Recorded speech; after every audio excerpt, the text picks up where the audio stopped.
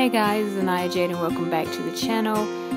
This is a quick video showing you the Bible spread that I created using samples of my fabric washi tape. Hope you all enjoy it and see you all in the next one.